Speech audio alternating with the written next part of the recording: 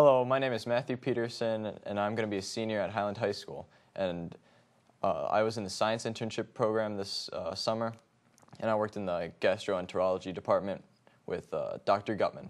And the title of my project is Patient Characteristics Affecting Conscious Sedation During Endoscopy. First off, this experiment was done with the help of Dr. Gutman, my mentor, and Teresa Rowe, my co-mentor. Here's a quick background on endoscopy. Endoscopy procedures are used to diagnose upper and lower GI abnormalities or diseases.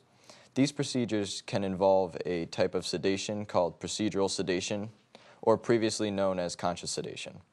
This is preferred as at the Wooster Family Health Center because it does not require the time of an anesthesiologist.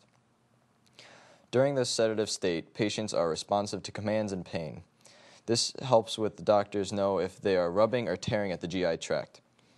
The commonly used sedatives at the FHC in Wooster are Demerol and Versed.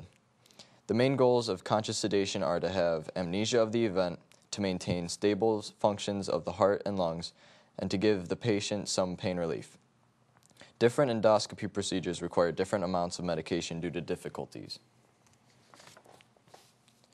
Not only does the type of procedure affect the amount of medication given, but there are also many other commonly assumed factors.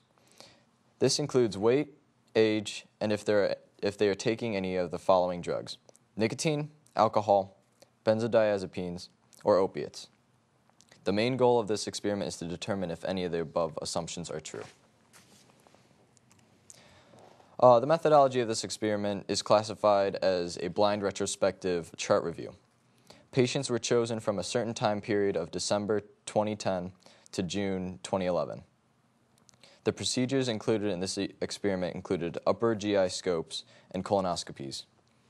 Patients excluded involved insufficient information, flexible sigmoidoscopies, any other medication except Demerol and Versed, if a counter sedative or if, any, if airway manipulation was needed. The flexible sigmoidoscopies were excluded because they did not require any sedative. Uh, some more methodology is the information collected for this experiment came from the endoscopy reports, histories, and physicals of the patient. The information needed was the patient's age, gender, weight, BMI, total amount of Versed, total amount of Demerol, and the level of consciousness or LOC of the patient during the procedure, if airway manipulation or counter sedatives were needed. And lastly, their drug use history. This chart demonstrates that the group of patients in this experiment created two almost identical counterpart groups of smokers and non-smokers. This greatly helped the comparison of the average total Demerol given to them with the least amount of variability. At the end of the chart review, the data was inputted into Excel and compared with standard error bars. As the last chart showed, the smoker group and non-smoker groups were almost identical, and this chart demonstrates that the smokers may have required more medicine, but it, it is such a small amount, about 3%, that it can be considered negligible. Other observations made were that alcohol uses near alcohol users near the date of procedure required more along with those that take the form of opiates or benzodiazepines, which the changes were greater than 5%. Another conclusion drawn from the data included that both males and females averaged 74 milligrams of Demerol. But as the weight was taken out of the interpretation, it was noticed that females required a higher dose of Demerol for each kilogram of body weight. An example of this would be if there was an 80 kilogram male and an 80 kilogram female, the 80 kilogram female would require more medicine. Age is only a factor is the only factor that had any significant change in the amount of Versed given. Again, standard error bars are used to compare the data. This chart also shows changes in the amount of Demerol given.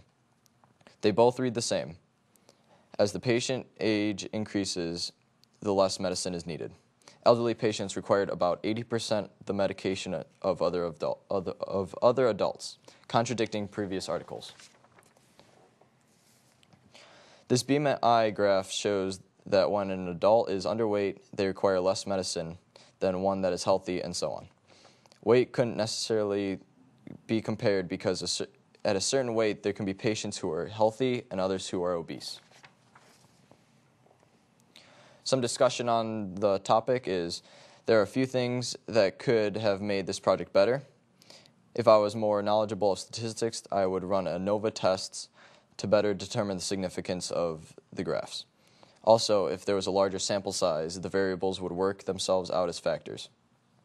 Lastly, during pre-experimental observations, it was noticed that anxious patients were much harder to sedate than calm patients. Since there was no clear way in measuring anxiety, it was excluded from the experiment.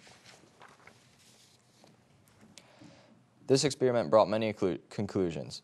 The dose of Versed had little change from the factors, and this was only based on the age of the patient. Demerol, on the other hand, was affected by a majority of the factors. Drug use was most surprising to this experiment. Nicotine and benzodiazepines did not follow the hypothesis in articles. Nicotine had, had no effects on the drugs, and benzodiazepines only affected Demerol when it was suggested to affect Versed. This was assumed because Versed is a benzodiazepine. His resources, and I'd like to say thank you to my mentor, Dr. Gutman, for, and my co-mentor, Teresa Rowe, for helping me out because they helped me along and uh, helped me produce this great work. And my peer mentor, Michael Ransky, to keeping all of us interns on track. And also my co-researcher, Casey Patika, to help me through the research and uh, also keep me on track. Uh, the Office of Civic, Civic Education Initiatives for giving me this opportunity to research this summer with the Cleveland Clinic, and also Rosalind Strickland and Nedra Starling. Thank you.